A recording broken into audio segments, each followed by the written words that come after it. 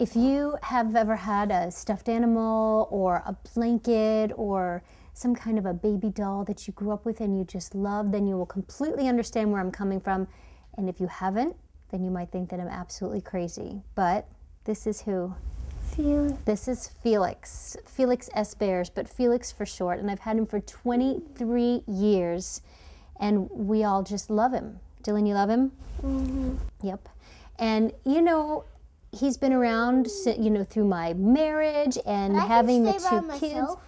You can stay by yourself and having the kids. And Mom, he, I want to stay by myself here. you do? Can I? Maybe Felix will babysit.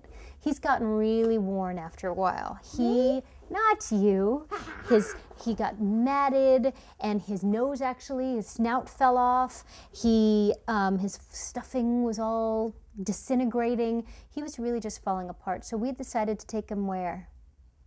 To the doll hospital. to the doll hospital and we got him fixed. It wasn't just the doll hospital, it was the doll and bear hospital. And they gave him a complete workover. They cleaned him and his probably one million dust mites, which is so disgusting I can't even think about it, was probably inside him. Um, they fluffed him, they restuffed him completely, and they gave him a complete and total snout job. This is all new. We just picked him up on Saturday. It was hard having him gone, wasn't it? Hello? Did you miss him? You were? Did you miss Felix? Mm-hmm. We all really missed him.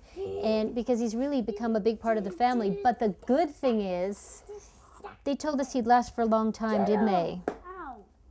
They said that he'd last for another 23 years. And by that time, yeah, another 23 years. By that time, I'm the one that's going to need all the work. Maybe not the snout job. We'll see.